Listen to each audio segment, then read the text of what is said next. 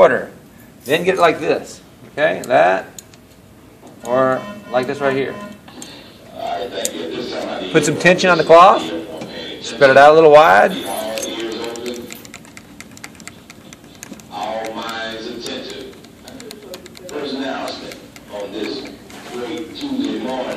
Now notice back and forth, same direction, right? It's curved, right? So you have to roll it like this, so you can get the whole thing, because it's curved. Ms. Hannon, Ms. Bullock, Ms. Rucker, Ms. Smith, Ms.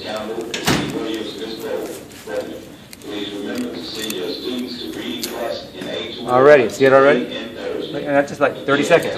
Look at it. 30 seconds. Sir, this is Brasso. Can you use it as Brasso? It's, you use it to help, help get tarnish off brass.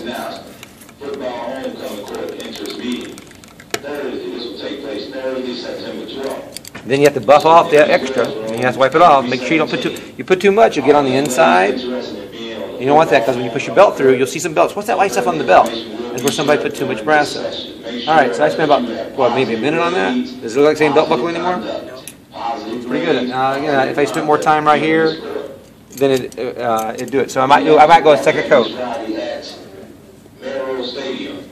You can put it right back in the same spot, it won't matter. I mean, it's already dirty be September 12th. That's September 12th at 2.15 in room A108. Sponsors are Ms. Green, Ms. Rom, Ms. Lovell, Ms. Hattie. So if you have any questions, see Ms. Green, Ms. Rom, Ms. Lovell, or Ms. Hattie. Ms.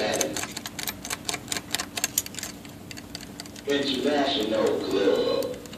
That mean that mean when we take place today, September 10th, C124 all right, give me your belt, go ahead. That. Go ahead, get your stuff. Please. You have a belt buckle, count it up. Working on it. I'm trying to get more.